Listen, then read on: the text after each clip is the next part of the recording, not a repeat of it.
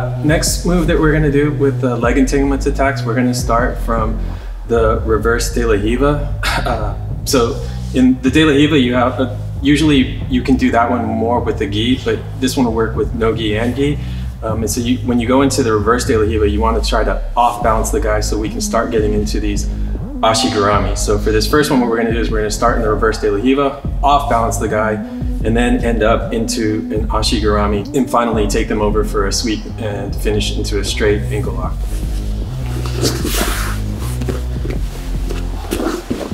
So here, normally this would be where we have uh, a De La Riva. that could be controlling here.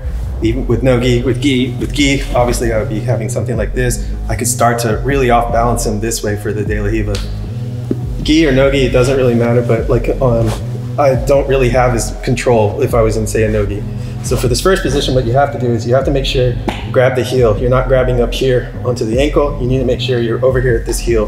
Then I need to make sure that my butt is close to the foot more so that I'm on top of it here. I don't want to be over here. There's too much space and I can't really off balance him. So I'm here. Next, I want to make sure that this foot is going to uh, hug against his leg. If I'm here and I just try to kick, nothing really happens versus when I have my, um, my foot flexing.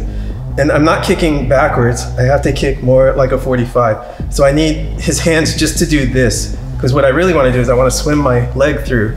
But Coach Eric isn't going to let me when I do this. He's going to stop me. So I need to be able to off balance him. Now, if the guy has his hands on his legs, you will have to break this off when the person is drilling because this is actually a really stable position. So for right now, like if your partner just doesn't have the arms on the legs, you're just gonna off balance him here and you're just gonna kick. So when he just does that, that's enough, that's all I need. What I'm gonna do is I'm gonna swim through and grab his knee, at the same time kick this leg and I'm sliding underneath here.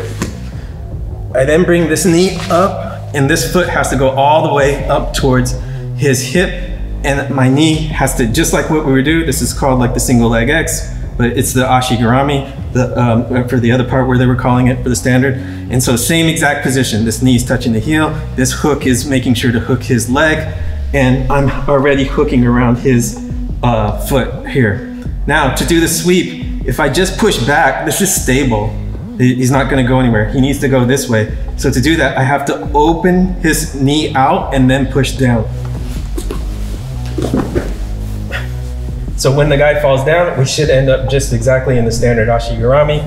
Knee is making sure that it's covering this uh, heel. This foot is making sure to cover his leg.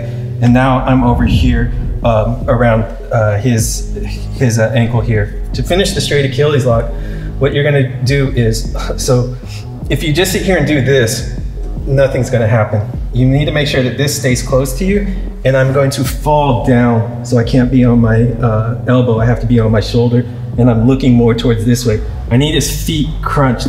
So I need to make sure that all of these feet over here are crunching down here this way. And then if once you have this here, you can just walk the foot towards the butt. So you just lift up, walk, lift up, walk, lift up, walk. And then eventually sh you should get the top.